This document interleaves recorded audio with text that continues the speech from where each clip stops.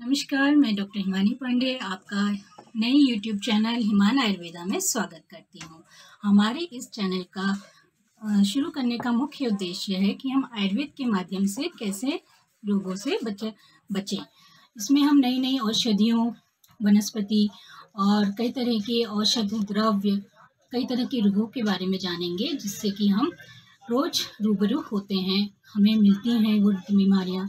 तो प्लीज़ आप इस चैनल को लाइक करें, शेयर करें, सब्सक्राइब करें और हमारा मार्गदर्शन करें कि जिससे हम रोज़ नए नए वीडियोस, औषधि वनस्पति से संबंधित, रोगों से संबंधित आपको पहुँचा सकें और आपका प्रोत्साहन हमें मिलता रहे।